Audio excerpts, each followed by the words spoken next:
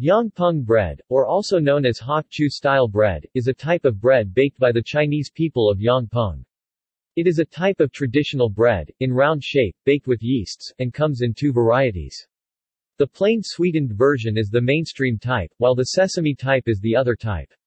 This bread is very unusual because it is still being baked and produced using traditional methods. Often wrapped in thin plastic and newspaper, it does not have any labels, nor any nutritional and calorie contents. It can be kept for a very long timely by storing it in a freezer. See also List of Chinese bakery products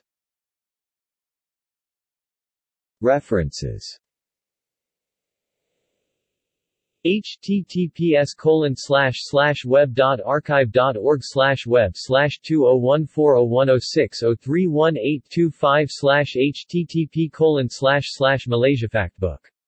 Com, underscore Peng.